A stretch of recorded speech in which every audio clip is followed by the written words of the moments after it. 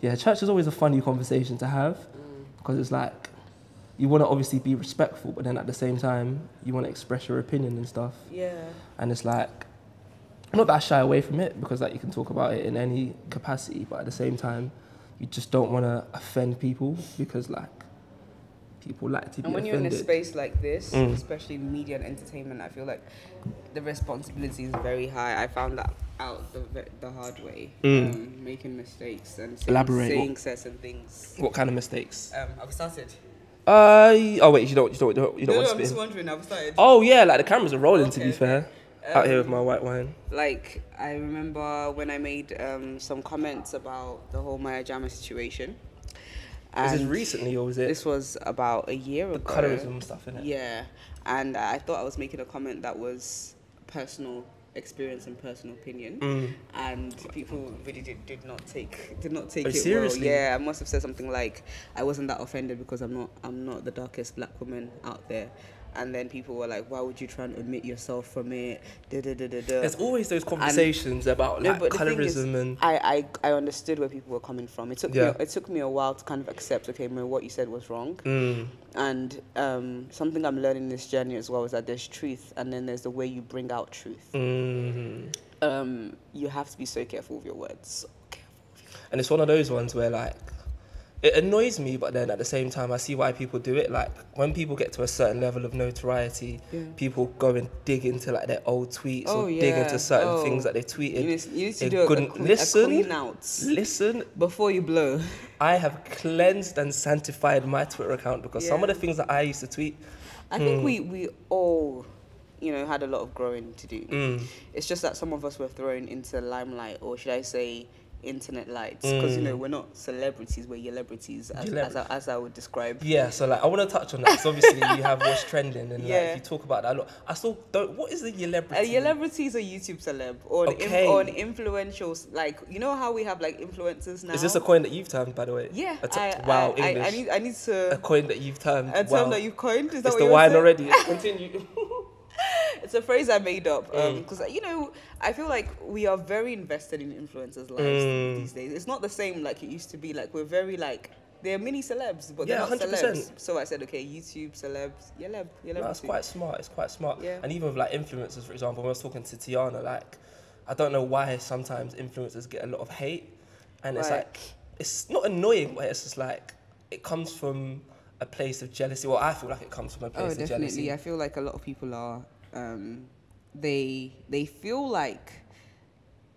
I feel like a lot of people would would would love to have the fame a lot of influencers Mm. have, um, but then there's also this resentment Mm. that you have what I would love, but I can't get because I don't have what you have. Mm. So they know you have talent. They know you have something that people pander to. They know you have a voice. They know you have a message, but they don't have that. But they would Mm. love what you have. They would love the perks, but they try to dismiss Oh, 100%. the work that it takes to get those perks. That's hundred percent, and it's, it's like that with not just in, even influencers and YouTubers, but like when you look at sports people, or you look at I don't know singers, not even just in the creative world, like any profession. Like Yeah. I feel like a lot of the time, especially in this new generation, Yeah. not I'm bashing social media, but like people only ever show the good bits, and it's like if you're always going on your Twitter feed or you're going on your Instagram feed and you only see the highlights of someone's life, Yeah. they're never going to show you the moments where Oh, things aren't really Yeah, going well and yeah. things aren't really and like bringing it to you as well finally because Yeah. obviously you know we were speaking just before we started recording that you've been doing YouTube properly full time for like the last year and a bit. Yeah. Obviously you've been doing it for like five or six years before that. as a hobby, like we Mm. started. It started off very like silly, I would say. I, Mm. I've been trying to find my first video, but I can't find it Do you know what I was trying? I was. That's one thing that I wanted to do before I knew you were gonna come here. But if yeah. you go on my YouTube channel, before you kind of for um, new visitors on my channel, I Mm. have like a trailer, okay, and that trailer basically shows like our journey. So I don't know Mm. where I found those videos, but I found them. I put them all together to show like our first video we, we shot on a web on a webcam. mm, It was like you know like the sepia filter. It looked them like old that. ones. It looked like that. The quality was terrible.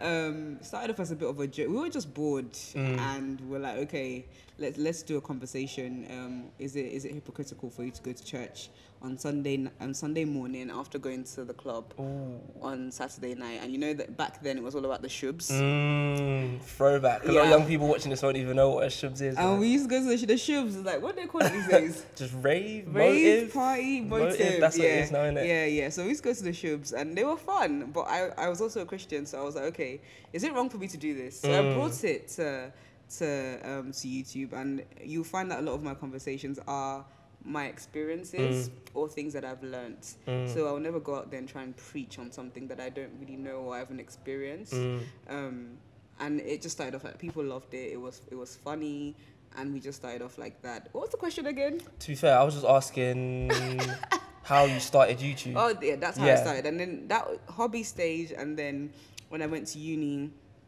myself and Twiggy, because it was a Twiggy and Chunky show before. Mm. Before myself and Twiggy um, kind of split off. She didn't go to my uni, so I carried on the show. But then people were kind of like, "Okay, Mo, like you're always saying Twiggy is not around. Why don't you just call it the Mo Chunk Show?" Mm. And at that time.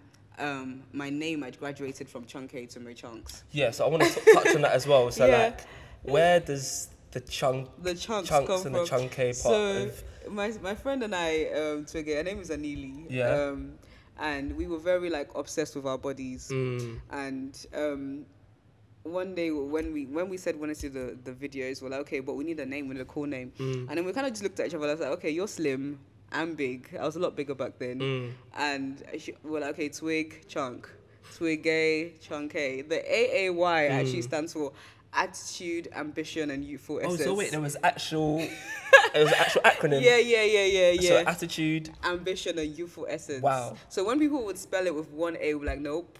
you got to add the extra Y because Yeah. you know it, it means something. Yeah, but then when I went to uni, I, I don't know where the chunks came from. Mm. People just shortened it and they started calling me chunks. People started calling me Mo Chunks. And I was like, okay, the Mo Chunk Show. Mm. So that's how the Mo Chunk Show started. Sick. And then I realized that, you know what, I actually have a lot of ideas. Like Mm. a lot of ideas. I, I have ideas for different talk shows that I eventually don't even want to feature on. Mm. So can I make this? How do I? Then I started researching. Then I found channels like All Def Digital and MadameNoire. They're more American based, and they have like different like talk shows, and it's like an it's like a, a network rather than a show. Mm. So I was like, okay, why don't I make it my Chunks TV? Okay. What did you study at uni actually? Uh, medical physiology. So nothing completely related to what you to do, right now. with media. So what was? Why did you choose that to begin with? Um, so I wanted to study medicine. Okay, cool. I'd been groomed and reared and prepared to go to uni to study medicine from a Mm. young age. You know, if you want to study medicine, you need to, you best believe that your stats need to be great. so from a young age, I've been preparing for the moment that I'd be accepted into medical school. And um, I experienced a rejection. Okay. Um, so when that happened, um, it made no sense because my grades were on point, my Mm. references were great, everything was fantastic, um, and um, I cried real tears because I felt like I disappointed my family. But then I was like, you know what? Um, I want to go traveling. I want Mm. to discover who I am. Can I touch on that really quickly before you continue? So you said this is a conversation I really wanted to have with you as well, because like obviously you being Nigerian, Yoruba, I'm Nigerian and Yoruba. There's certain things in our community, Oh yeah. um, especially as first generations living in this country. yeah. Why did you feel that you didn't disappoint yourself, but you disappointed your family? I always find that an interesting thing that people say. Because it's that family pride. Mm. and this thing about you want your parents to eat the fruit of their labor. Mm. So you kind of feel like you owe it to them to to live out the vision that they have for you. Mm. So it's not necessarily about you as a Nigerian child. You don't necessarily have a mind of your own. Mm. Um, and You're gonna even- trigger a lot of Nigerian parents even, watching even, this boy. even my even my my mom when she was you know growing up, Mm. she wanted to be a lawyer. Her dad said no. That she- Seriously? yeah, that no man will marry a woman like her. Yeah, because it's too much. So you can imagine her now having a child like me that's very ambitious. Mm. And although it was a bit of a fight initially, now my mom is just like go. Mm. Like many decisions I've made in the last six months, the typical Nigerian parent would not allow you to Mm. to go and explore your dream your dreams in the way that I am Do they, today. they they understand what it is that you do? Um, I would say they would never fully understand the scope of the vision that God has given me Mm. because I'm the vision bearer. Um, but I think they, to to a degree, they Mm. they get that okay. Mo does YouTube. She speaks at events. Um, on certain topics, and she has a media business as well. Mm-hmm. Um, and I think with the more fruit they saw, the more understanding. It's And I always one of those ones. innit? Yeah, and I think it's not necessarily the money, but even me just attending events and speaking, and they see a clip, it's like okay, now I get it. But they would, no one can understand your vision in seed form because the seed is placed in you. Yeah, so you need to work. I'm not saying try and prove yourself to people until they physically see it, they sometimes won't yeah quite it, understand. it it only makes magnitude. sense in spiritual sense to you because you're the one having that experience of the seed being planted Mm. um, but when it starts when it starts to germinate when you start to see fruit then they because they are the outside bearers of that vision Mm. Yeah, that was deep. Like I was in a moment. I was thinking like, she's preaching, she's preaching, which is a good thing as well. Because like even when I was speaking to Tiana, I was speaking to Nissy, like a lot of the time you speak about faith and religion, and like when we started the conversation, you were talking about um, I can't remember what it was you specifically said about that Maya situation, but it was Yeah. something related to faith. Um, Yeah. Is there a reason why you feel that you know on your platform that, that is something that you just want to openly express yourself about? um, i definitely believe that everything that i do is for the glory of god Mm. Initially I thought I just enjoyed media. It was just a passion of mine, and um, I, I found myself Mm. um, making blunders like that and saying the wrong things and appearing on certain platforms. Um, for example, I appeared on the Zeze Millz show, and Did you? yeah, I appeared on the Zeze Millz show, and I got in trouble again because I again this is what I mean about truth and how you actually bring it bring it out. Mm. So I spoke about um, on her show rape within the black community, Mm. and I had experienced molestation as a child. Oh seriously? Yeah, as well as many people um, around me. It's it's a very common thing that a lot of Mm, young it's a sensitive topic yeah, to talk about on topic. like yeah. Uh, yeah, and I um, the way we call it in Yoruba is agbe agbekale oro. Mm, The way I dropped it was offensive. okay. So the message was missed. Um, so I really had to go back blunder one um, on my platform, blunder two on my platform, blunder three on somebody else's platform, which I had no control over. Mm. And I end up on the Shade Borough. Do you know what? Yeah, I don't even care that I'm going to say this. This might be a blunder for me. I really dislike that platform. Really? I, re- I just feel like they spew so much hate and so much like like vile. I don't know, man. It really Just like the Shade me. Room. It's a UK version of the Card Shade Room. full. Oh, okay. Damn. So yeah, I forgot where we were in the conversation, but it's all right. I think we were talking about the shade borough The and how Borough, yeah. So I you ended got into a bit of kerfuffle. Yeah, I ended up on the Shade Borough. I ended up on Nigerian Instagram. You know, there's Nigerian Twitter. I didn't know there was. You see Niger- Nigerian I didn't know- Instagram and Twitter. Yeah, didn't know there was Nigerian man, Instagram. Oh my, they have no mercy. And you know how they feel about topics surrounding rape. So I was getting Mm. abuse. so wait, could you kind of like delve into like I know obviously it's, it's a while ago and it's Yeah. quite a sensitive topic, but t- talk to me about some of the things that you said and like the response that Yeah. you got as a result of that. So again, just to emphasize what I was saying about um, you can have your truth, Mm. and then there's the way you say things. Mm. So, um, you know, I still stand by the fact that there is an issue of molestation within our community, Mm. and not just our community, but I'm speaking from the experience of a black woman. Mm. Um, and I, I recognized from what people would DM me and just conversations I would have with my friends that this is a this is an issue. Mm. Um, so that was what I was trying to call out. But then the way I said it, I ended up, um, I ended up chastising black men. Mm. And I, I believe I spoke from a place of pain. At the time, I didn't realize it was a place of pain. Um, I wish I didn't say it the way I said it. Um, but then it, I, I'm glad it happened because it made me reflect about how I say things. Mm. So that was what stripped me back. Um, going back to what you were asking me about faith. Mm. So that's when I went back to God and said, okay, this media thing that you've called me into, I'm doing it, but I'm not sure I'm doing it the way you want me to do it. And maybe that's why I'm getting in trouble. Maybe that's why I'm saying the wrong things. I really, I sat down and I, why do I keep saying the wrong things? Mm. Because I have this passion for topics such as self-love, mm. beauty, and and rape, and I, like I have this passion, this passion to have uncomfortable discussions mm. to make the world a better place. You know, media is so influential. So powerful. it's so powerful. And that's why propaganda worked in, in, in war times because it's, it's images it's, it's visuals it's things that grab people's attention. So god you've placed this passion in me but i keep saying the wrong things um, so um, i really had to ask god okay what is the purpose of this? Because there's passion and then there's purpose. So I asked God, um, what's my why? Mm. And that was my turning point. Mm. I took a step back from everything. I took a production break and I said, right, God, it's me and you. Yeah. I really want to figure out why did you place me on this earth? Because a lot of the time we confuse our purpose with our passions. Mm. We say, okay, I, I thought my purpose was media. Um, and I went to this event and um, I got this book. It was It's Purpose by Jessica Hugh. And she started breaking down this concept of the why. Mm.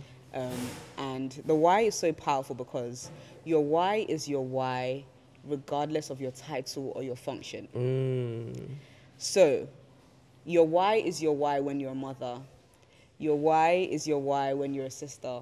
Your why is your why when you're in the workplace. Your why was my why was my why when I was working as a healthcare assistant. Mm.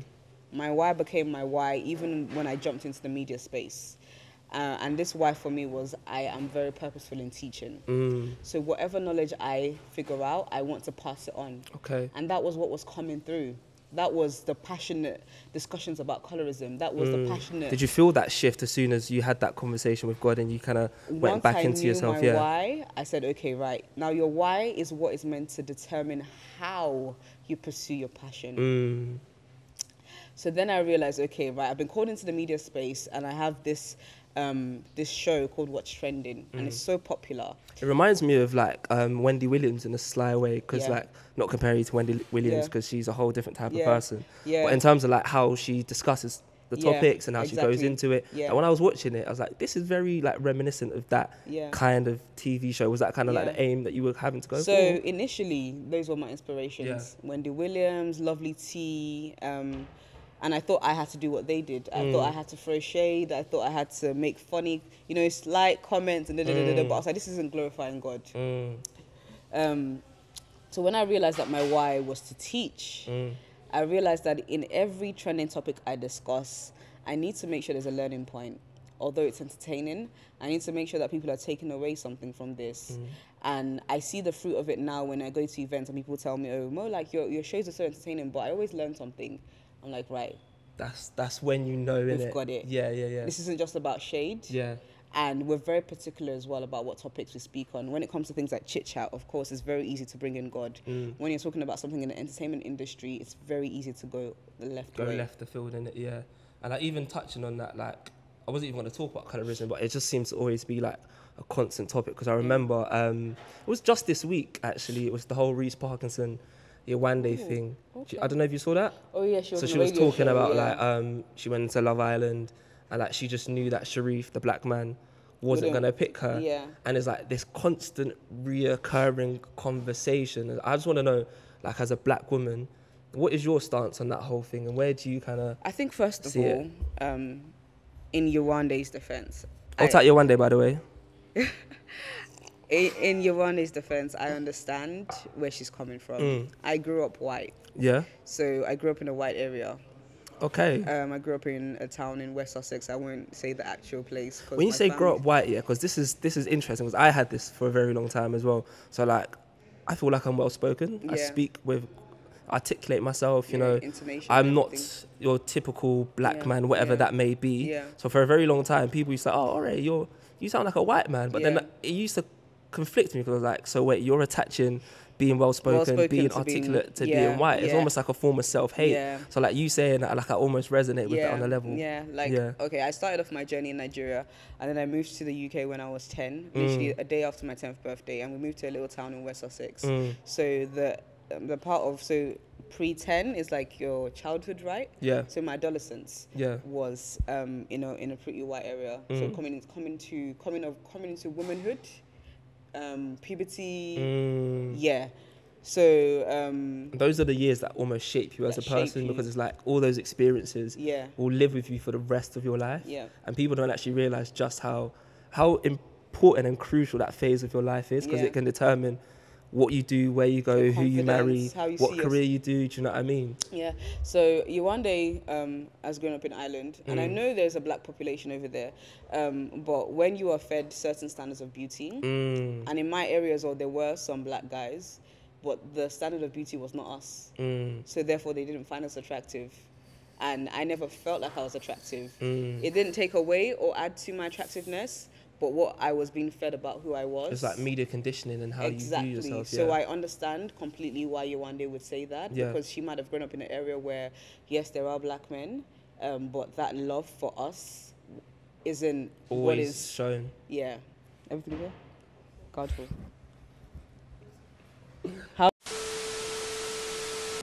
So this is a regular occurrence, annoyingly, but it's what happens, and I like the fact that things keep cutting out Yeah. because um, it's something I want to touch on with you a little bit later because obviously you know you produce, Yeah. you present, you content create, and um, before we get into that conversation, Yeah. we were talking about Yewande and colorism and the conversation around colorism. Yeah. So um, yeah, just continue with what you were saying before. Um, so, so I, I, I, I empathize Mm. with her.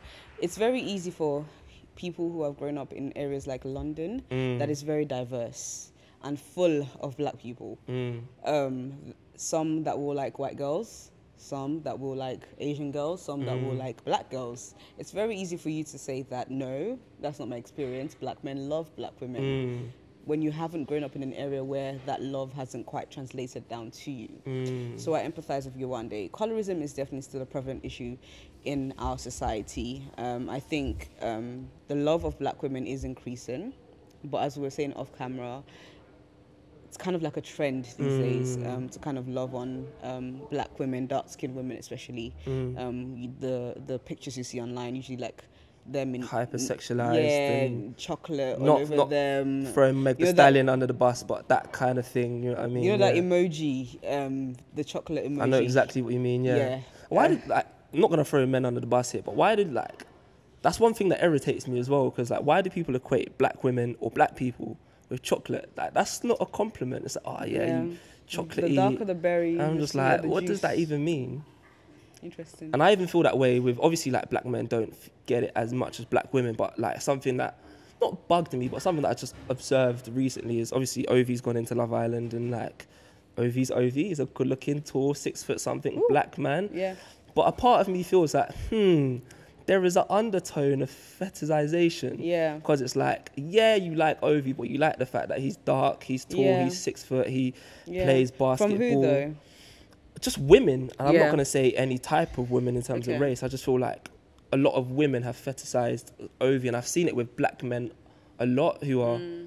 who have a, a level of status. So Anthony Joshua is another person, but Anthony Joshua is Anthony Joshua. When you have that physique, obviously Would you say feti? Was how do you say the word? fetishization. I Would you say that is um, more to do with when you sexualize someone? Do you think? I don't know if Ovie's being sexualized. I feel like he's been sexualized. Yeah, I feel like Elaborate. he's been sexualized. Um, so funny you mentioned Anthony Joshua. When Yeah. I think of him, like I, I think sex. yeah, Yeah. abs, biceps, yeah. sweat. Yeah, Yeah. exactly. You know what we what we, what we consider handsome, Mm. tall, dark. You know, broad shoulders. You know, very like. It's kind of like the way women think. I guess it's Mm. the way men sexualize women as well. You're kind of thinking, It's like two coins of the same. you know, if I had her, you know, I would do some things, Yeah. and you know, you know. So it's kind of like that with Ovie and. yeah, But I feel like when you fetishize someone, it's more to do with, um, so you're of a different race. mm, You don't necessarily like their blackness mm.